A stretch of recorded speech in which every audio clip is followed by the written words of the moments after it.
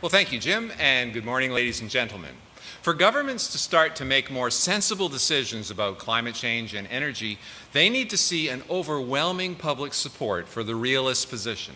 The realist position is one that says, we don't know the future of climate change, so let's help people adapt today to what is undoubtedly mostly natural climate change. They call us climate deniers, but we're not. We're climate realists. So in my talk today, I'm going to actually focus on uh, the following things. And I press forward. You know, when we talk about an overwhelming majority of the public have to be shown to support climate realism, I'm not talking about 60%. I'm talking about 80% more. There is so much momentum in the climate scare. There's so many vested interests that want to keep it going. The government has to see that there is an overwhelming majority of public who don't actually support the climate scare. And so I'm going to cover the following things in today's article in an effort to show you how we can perhaps influence public opinion through the mainstream media. My first topic is concerning op-eds and letters. I'm not going to talk about radio and TV. John is far better at that than I am. But what I have found is that when you actually get published in mainstream media newspapers, radio interviews follow. Okay, so it's, it's a good starting place to get, get out there. Then I'll talk about the usual result of realist submissions to mainstream media. I'll talk about a good strategy that I've found almost by default. I actually looked back through my publications and said, why did this get published by a, a media source that is not right wing? And I've uncovered an interesting strategy that I think you'll like. And I'll talk about causes that trump the dangerous anthropogenic global warming belief in the minds of most mainstream editors. Now, we saw a poll that came out just uh, a few weeks ago, which was very encouraging. It was referenced a little earlier that 42% of Americans think that the climate scare is exaggerated. Okay, and this, you know, everybody feels excited about this, but as I say, you need 80% plus. Jay Lehr was talking about this in last year's Las Vegas conference. You really can't, 51% uh, isn't going to do it. Now, while there are many ways to sway public opinion, probably, as I say, the most important is through mainstream media. According to a recent Gallup poll, about half of Americans felt that the media, mainstream media, was too liberal, and only about 19% felt that it was too conservative. Now, that really presents a problem for climate realists because, as you recall from my presentation last year, it's on the web if you want to look it up, um, recent research has shown that people on the egalitarian communitarian side, it's a bit of a complex idea, it's discussed last year, that is the left wing, okay, people who call themselves progressives. They have far more concern about global warming impacts on people and the environment, human caused global warming, than do people on the right. So this presents a real challenge for climate realists because environmentalists have been incredibly successful at convincing the public that environmentalism in general and stopping global warming is a cause, a liberal cause. Okay, it really, it really shouldn't be. I mean, it's science. You know, science doesn't care whether it's left or right wing. But that is a big obstacle that we have to overcome. So because of their political orientation, many media accept the climate scare just by default. Okay, they may not know much about it, but it's part of the laundry list of ideals that progressives hold dear. So let's have a look at some of the other ideals that they hold dear and if we can take advantage of some of these to help get our message out. They say, in some cases they actually do, support social justice, protection of wildlife and the environment, tolerance of alternative lifestyles and opinion, rejection of authority and absolutism, re rejection of superstition. So if we can show that some of these causes, perhaps for a particular editor, they're more interested in social justice or they're more interested in the protection of eagles, okay, which are being massacred in Ontario by wind turbines. Um, if we can show them that one of the causes that they hold more dear than the climate scare, then we get their attention. We have to give them an incentive to open our email and to actually read our article. Because the bottom line is you can write the best article on the planet. If the editors are mostly deleting them, which in my opinion they are, then you're not going to get anything.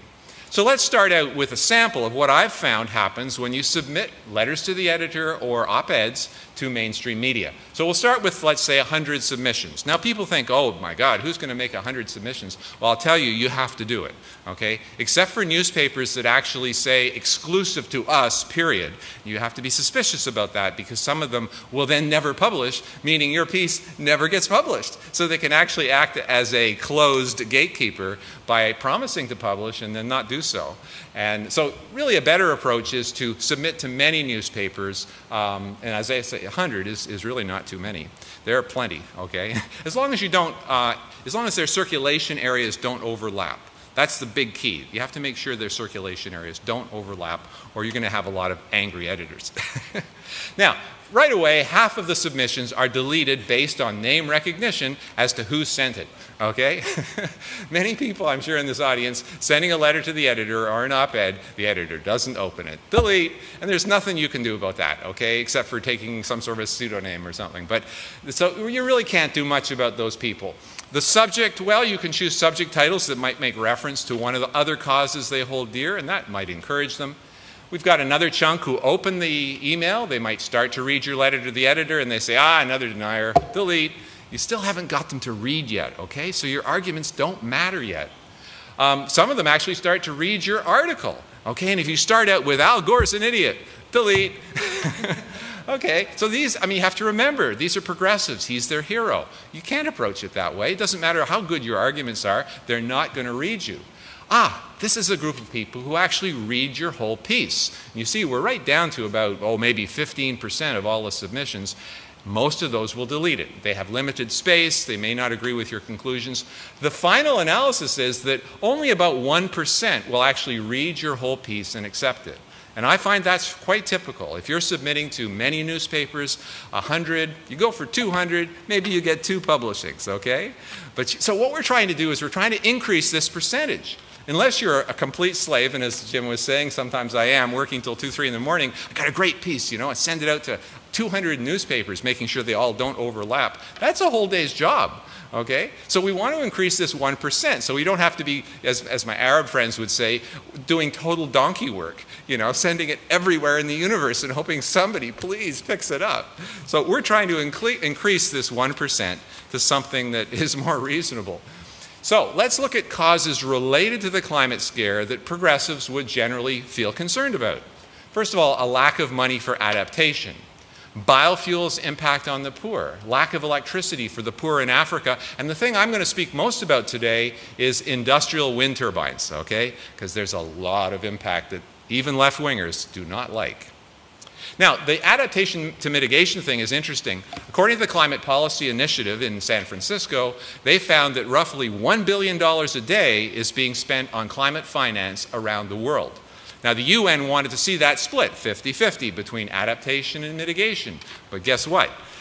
Adaptation, helping real people today adopt or adapt to climate change, whatever the cause, gets a total of 6%. Okay? 94% of that money is spent, as you can see on this chart, 94%, that whole big top uh, square, is being spent on mitigation. Now, for many editors, what they see, if you show them this and you talk about it in your piece, is you're effectively giving more value to the lives of people who haven't even been born yet than people who are suffering today.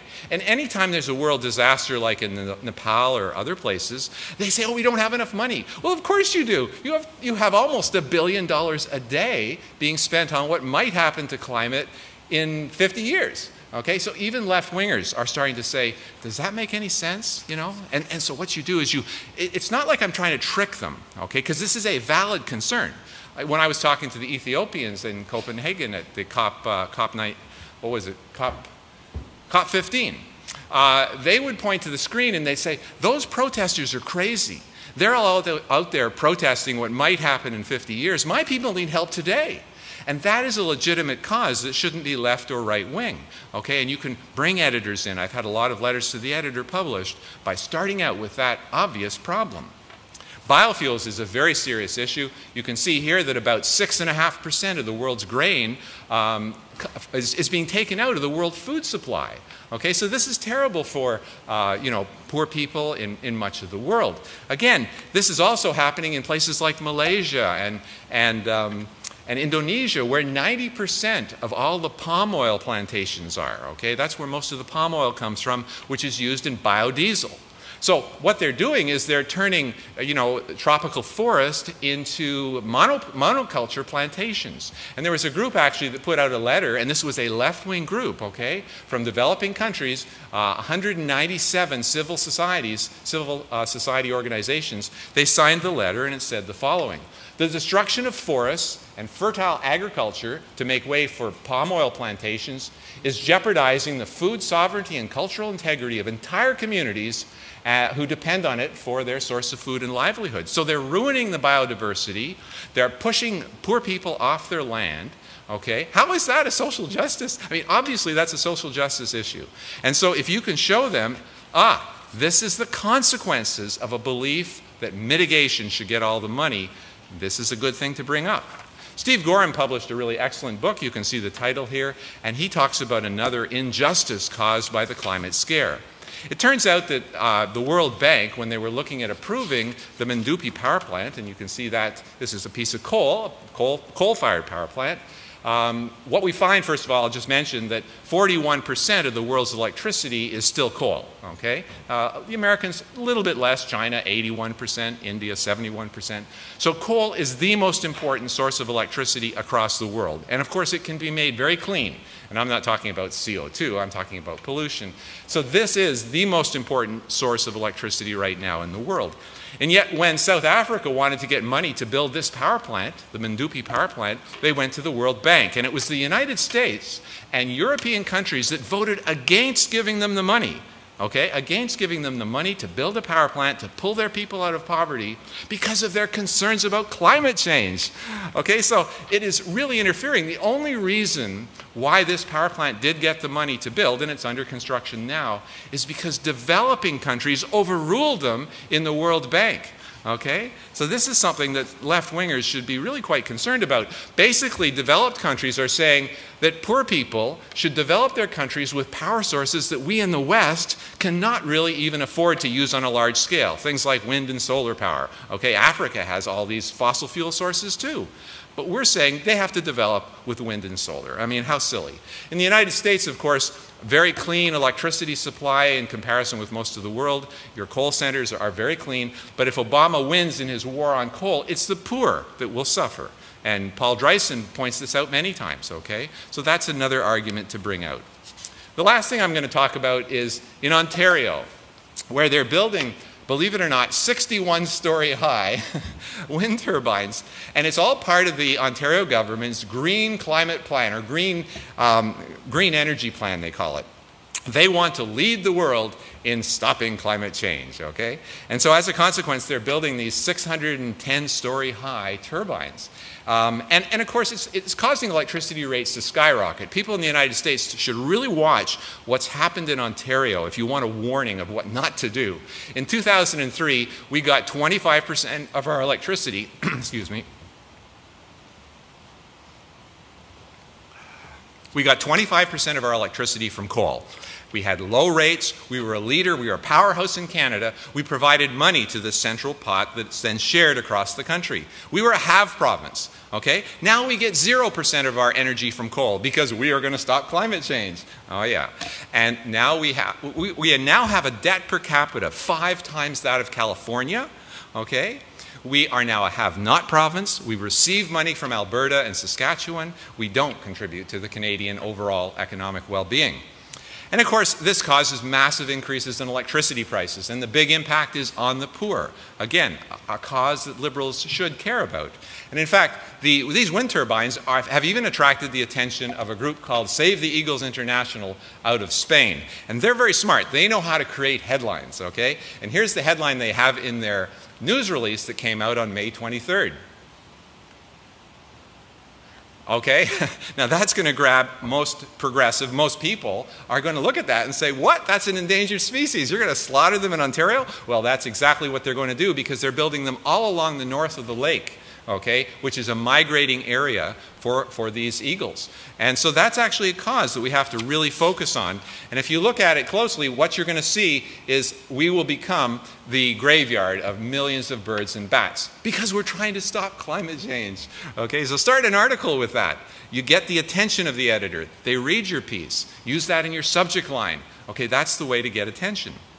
Now, as we were driving along the highway just north of a wind farm near Chateaugay, New York State, I took some pictures. And I, I have these here because it's really hard to believe how close these are to homes. These are 37 story high wind turbines, okay? They're a little more than half as big as what we're putting up in Ontario. But we're going to see in a second uh, the impact on the community is amazing. I mean, look at this. They're like, they look like they're right next door. And in fact, I'm just going to give you a little slide here, which is sort of fun.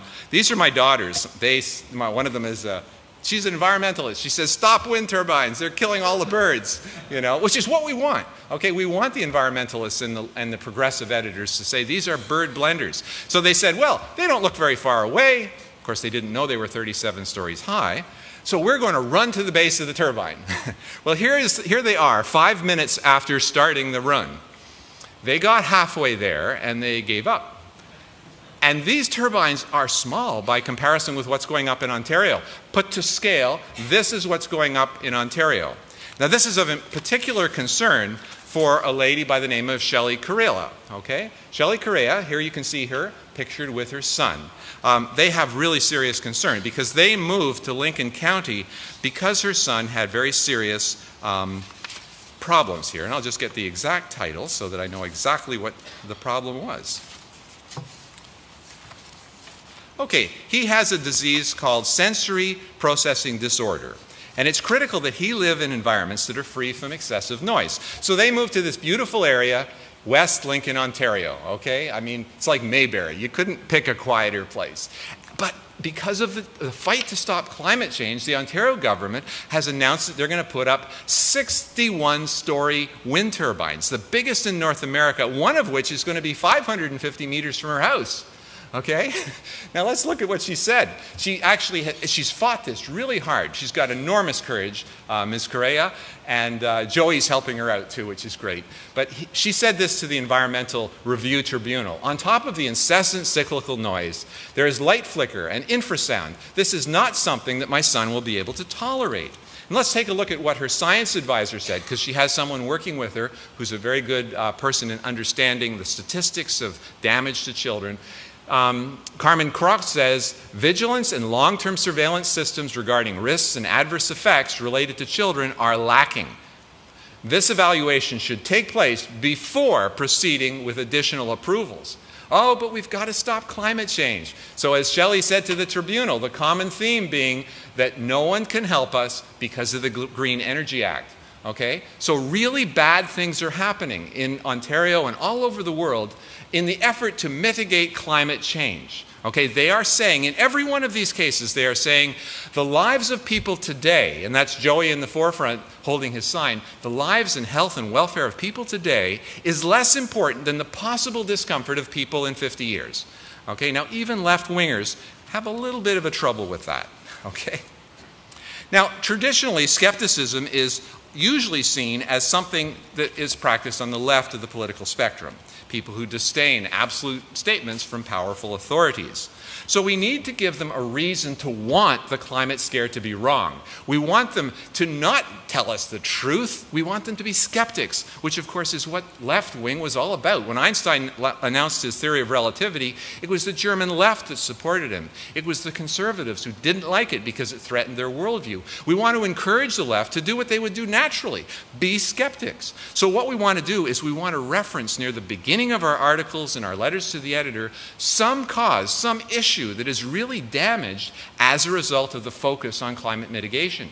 And I'll tell you, I didn't I was doing this subconsciously. When I was writing this speech, I thought, oh, let's look through my list of media hits and see, is there a correlation? I mean, I'm saying there is. Well, there sure was. And I won't name the newspapers because, of course, our opponents would send to their editors right away, Harris is using this trick to get you published. It's not a trick. It's basic psychology. It's telling them things that they are concerned about so they have an incentive to open your email, to read through it. And then by the end, they get to the point where they say, gee, I really wish that we didn't have to have wind turbines. I really wish we didn't have to have biofuels because look at these things that I value more that are suffering as a consequence. So that's my speech. Thank you very much.